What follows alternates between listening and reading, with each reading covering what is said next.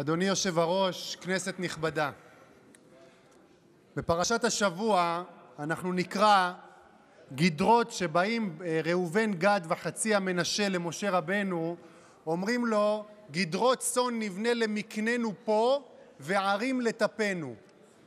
משה רבנו עונה להם, אומר להם: לא ככה, לא מתחילים עם הצאן ורק אחר כך מטפלים בילדים. תעשו את העיקר עיקר ואת הטפל טפל. בנו לכם ערים לטפכם וגדרות לצונאכם. קודם כל מתחילים בילדים. אבל אם ככה, מה הבעיה? הבעיה היא הצביעות. הצביעות הזו שבאים לכאן פעם אחר פעם, חצי מהחוקים היום, כל החוקים באים מנסים להתערב לחרדים בחיים.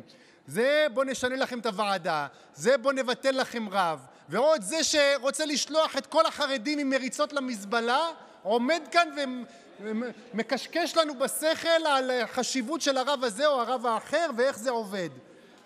ולמה אני אומר את זה, שרן השכל? כי מי חברת המפלגה שלך? שרת החינוך לשעבר. שרת החינוך לשעבר. היא התעמרה בילדים החרדים, ביטלה להם 90 מיליון שקל שעות תמרוץ וטיפוח, שזה הרבה יותר כנראה ממה שאת מציעה כאן בחוק, ביטלה את זה, שזה לימודי ליבה.